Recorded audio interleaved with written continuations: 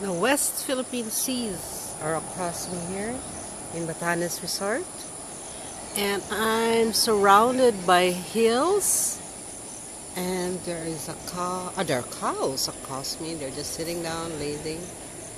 And my husband is over there having breakfast. And here are the cottages. They are nestled in a along rolling hills. Yes, these are just rolling hills over here. And some buko, coconut trees. I can hear birds chirping behind me too. And just the waters from West Philippine Seas.